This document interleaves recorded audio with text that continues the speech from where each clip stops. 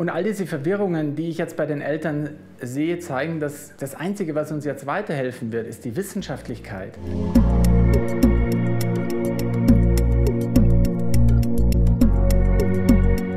Gerade in den letzten Tagen ist es besonders schwierig geworden, Informationen, die man im Internet bekommt, die man äh, über Twitter bekommt, die man äh, auf WhatsApp äh, bekommt, danach zu beurteilen, ob sie stichhaltig sind, ob sie wirklich was bringen. Gerade in Heilpraktiker-Homöopathie-Bereichen wird gibt es Leute, die die virale Genese von äh, der Corona-Epidemie überhaupt anzweifeln. Es äh, kursieren Fake News über Ibuprofen, jeder hat das mittlerweile mitbekommen und äh, viele Leute rufen mich an, weil sie komplett verwirrt sind, wie sie ihr Kind schützen können. Es äh, kursieren Tipps über irgendwelche Ernährungsregeln, mit denen man sich schützen könnte oder darüber, dass man jede 15 Minuten einen Schluck Wasser trinken könnte. Und all diese Verwirrungen, die ich jetzt bei den Eltern sehe, zeigen, dass das Einzige, was uns jetzt weiterhelfen wird, ist die Wissenschaftlichkeit.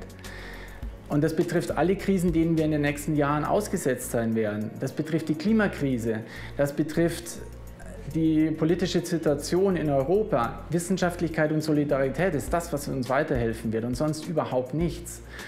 Wenn ich die ganze Verwirrung der Eltern sehe, die völlig verzweifelt äh, aus irgendwelchen Foren aus der Ecke der Heilpraktiker und Homöopathie kommen und nicht wissen, wie sie sich verhalten sollen, es gefährdet Leute.